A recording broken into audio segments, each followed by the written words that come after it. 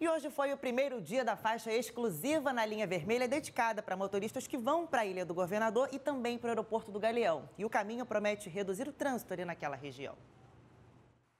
O primeiro dia de funcionamento da faixa exclusiva não agradou só os moradores e frequentadores da Ilha do Governador, não, mas também turistas que seguiam para o aeroporto do Galeão, na Zona Norte. Eu acho muito bom porque, para quem é turista e está vindo conhecer a cidade, para se deslocar de um ponto ao outro, direto para o aeroporto, facilita bastante. São 2 quilômetros e 200 metros de extensão. A faixa exclusiva começa pouco antes do batalhão da Polícia Militar na Maré. Um caminho dedicado apenas aos motoristas que vão para a Ilha do Governador ou para quem segue para o Galeão. Todo e qualquer veículo que acesse a Ilha do Governador pode utilizar a faixa dedicada, não apenas para o aeroporto. A iniciativa é fruto de um estudo que mostrou que, em média, 90 mil veículos passam pela linha vermelha todo dia. Desse total, 35 mil iam para a ilha ou para o Galeão, um fluxo que tem crescido. O problema é que nos horários de maior movimento, o motorista ficava até duas horas preso no trânsito. Por enquanto, os agentes de trânsito estão aqui fazendo um trabalho educativo, orientando os motoristas,